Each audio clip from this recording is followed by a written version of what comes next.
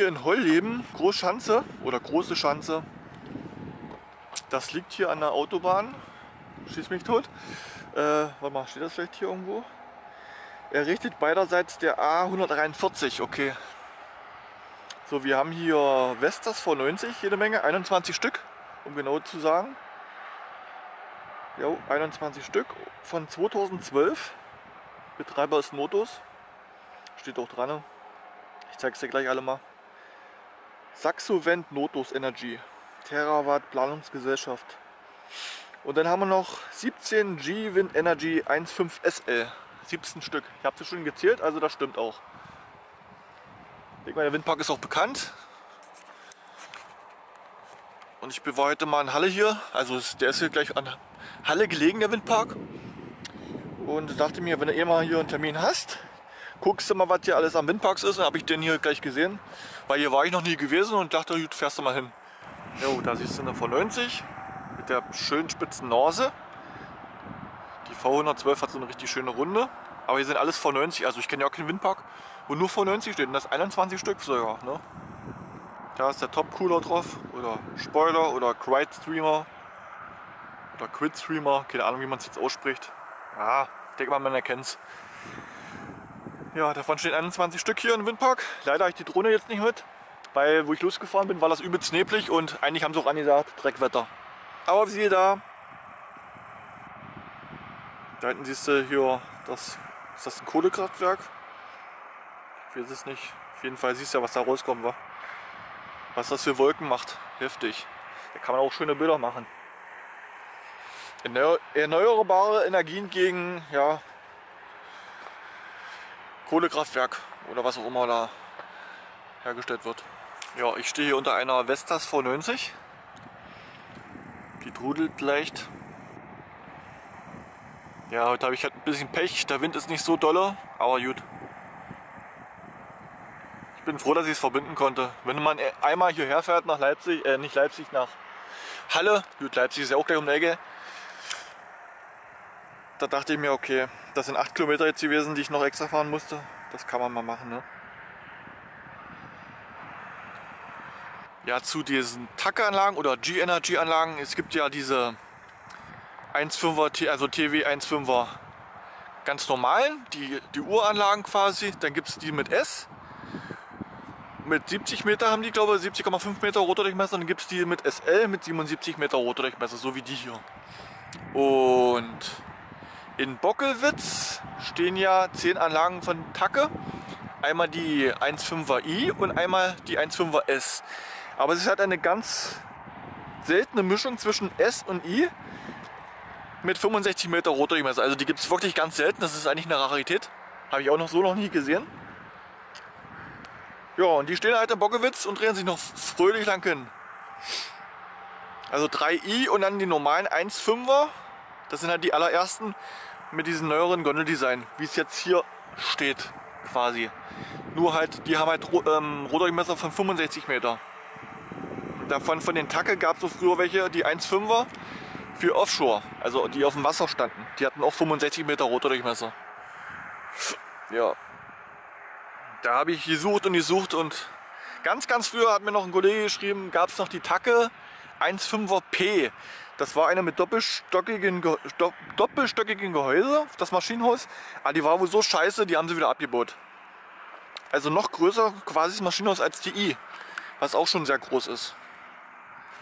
Ja, man erfährt auch ein bisschen was dann. Zufällig.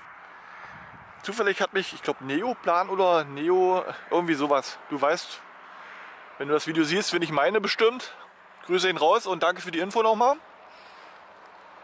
Ja, mein Kollege, der andere, der hat jemanden von Tacke, also der die Tacke-Anlagen halt, der sich da halt mehr auskennt, ne? Der hat mir das halt geschrieben dann, dass es echt Exoten sind. Die mit 65 Meter Rotordurchmesser. Das sieht man auch an den Flügeln dann dass sie alle dieselben Rotordurchmesser haben wie die i. Ja, so bei NIS sind die Vestas V90 registriert, 105 Meter Namenhöhe sind sie haben, 2000 kW, 90 Meter Rotordurchmesser. Ja. Ja, ja, ein bisschen drehen sie sich ja hier. Da hinten ist der nächste Windpark, ich weiß jetzt nicht wie er heißt. Vielleicht fahre ich gleich nochmal hin, mal gucken. Da stehen nämlich auch Eno, habe ich gesehen, und Vestas. Vestas. Vestas, ja. Da ist Vestas. Und da ganz hinten. Das sieht aus wie Eno. Das ist Eno. Und da ist ja noch ein kleines Windrad da. Cool. Was steht da noch? Nochmal Vestas. Ja, vielleicht fahre ich da gleich mal hin. Wenn ich einmal hier bin. Leider drehen sie sich jetzt nicht, aber gut. Man kann nicht alles haben. War halt mal ein kurzer Einblick in diesen Windpark hier. Große Schanze. Hollleben. Ich war ja noch nie gewesen und dachte, okay, den musste mal schnell filmen und dann ist gut.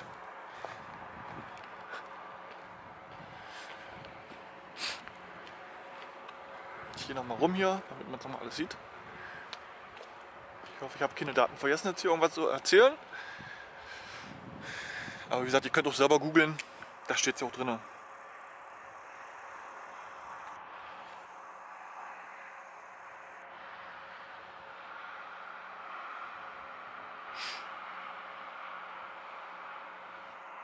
Ich fahre ja hier auch nie lang, deswegen habe ich den noch nicht gesehen, den Windpark.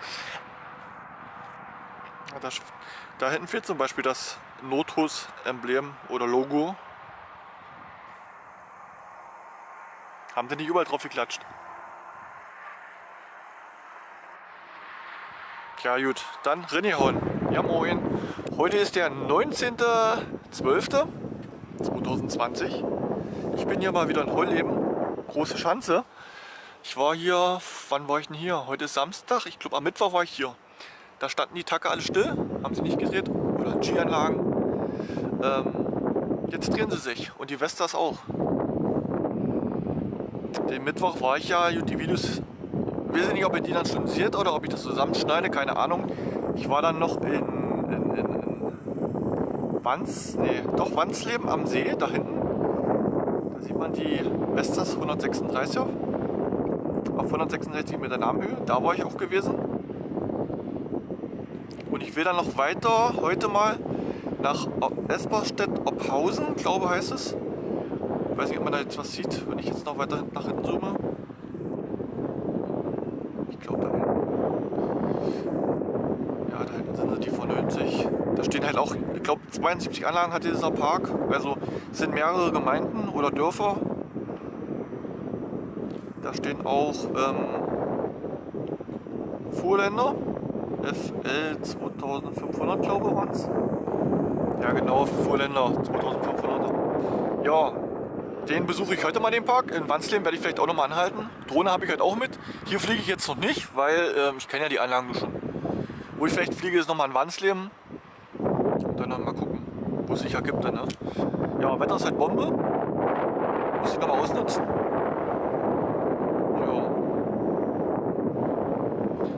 ausnutzen. sind ähm, in, in Hollleben, also große Schanze. Was waren es? 19 Tacke, Tacke, ne Quatsch, oh, ich hab's mit Tacke heute. Ähm, 19 G Energy 1.5 SL. 19 Stück haben wir. Und dann haben wir noch, äh, warte mal, 21 Vestas V90 mit 2000 kW. Die stehen da hinten von Autos Energy hier.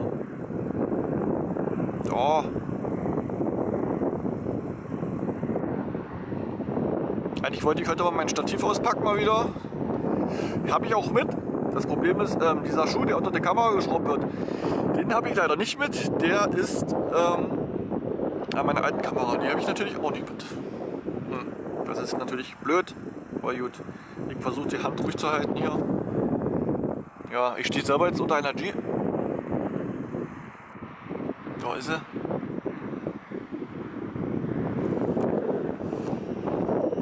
sie. gucken, was ich mit dem Video jetzt hier, ich denke mal, das ist jetzt nur ein kurzes, das werde ich vielleicht noch in das alte von Mittwoch reinschneiden, denke ich mal. Werdet ihr sehen dann, wie ich es mache. Ist aber auch ein schöner Park hier. Ist bei Halle.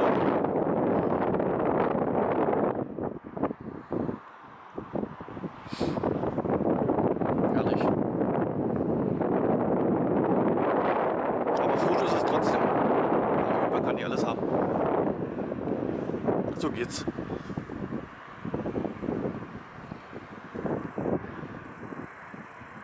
Tja. Eigentlich sollte das schon mal gewesen sein von dem Windpark. Ich will nämlich weiter, ne? Wie gesagt, ich war erst hier, stand ich ähm, da drüben an einer V90, ich glaube an die da. Und von da aus habe ich ja den Windpark in Wansleben am See entdeckt. Da. Ich kann ja nochmal hinzoomen.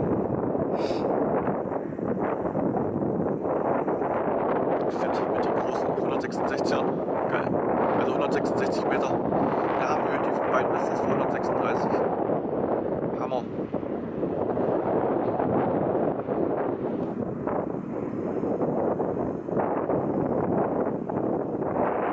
So, hier sieht man nochmal die V90. Hier stand ich an der, wo die Strohballen liegen. Jo. Weiter geht's zum nächsten Windberg, ne? Wie gesagt, äh, ich schneide das denke ich mal zusammen, weil das ist jetzt hier zu wenig Material, was ich jetzt hier gefilmt habe. Aber ihr seht jetzt wenigstens mal, wo es sich dreht. Letztes Mal standen sie alle still. Oder fast alle. Ja. Und nun geht's weiter. Rennjahren. So, ich bin jetzt hier nochmal in Holleben, große Schanze. Und jetzt sieht man mal die Vestas V90 und die G-Energy 1.5er SL bei Dunkelheit. Hier sieht man noch ein bisschen besser. Hier ist noch schön hell da hinten. Sieht das nicht schick aus? Dann kann ich den Windpark nochmal im Dunkeln zeigen. Ist doch super. Und die Kamera gleich mal testen. Wie gut sie arbeitet. Das ist schon geil.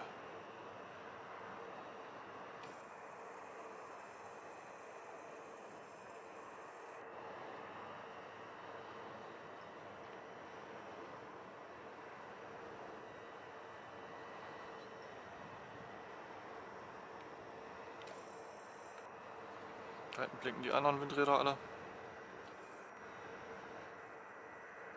Müsste Ophausen sein. Und dann kommt dann noch wieder, ähm, ah, wie heißt es, wo ich vorhin war.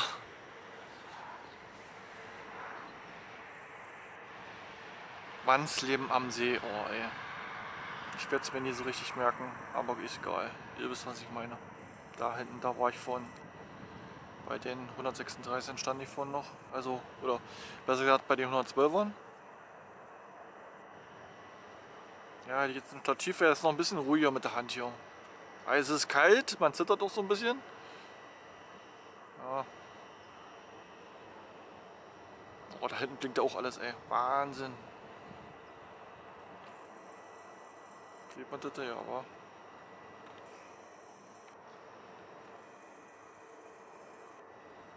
Krass. Ich stehe selbst jetzt hier unter einer Enron. Quatsch, nicht Enron, G Energy.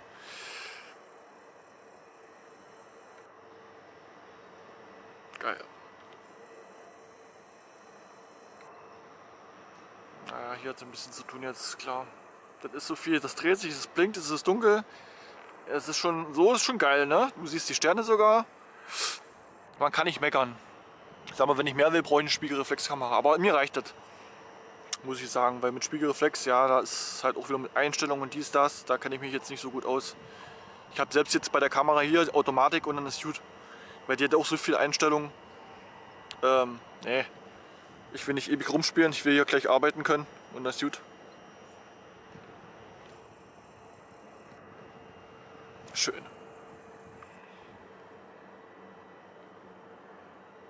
Heftig. Ja, da hat man noch mal ein paar schöne Nachtaufnahmen hier. Wunderbar. Der Mond. Zoom ich mal hoch.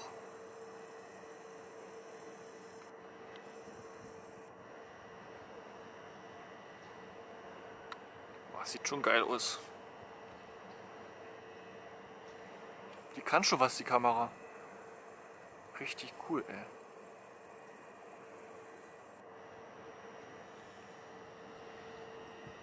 Tja, ich mache ein paar schicke Bilder und dann war es das ja auch von Heulleben, große Schanze. Ich hoffe, es hat gefallen. Ein Däumchen wäre ein Träumchen. Habe ich lange nicht gesagt, ne? ja. Juti, Knuti, dann bis zum nächsten Mal. Lasst euch gut gehen. Bis dann. Ciao, ciao. Hasta luego. Rinjauen.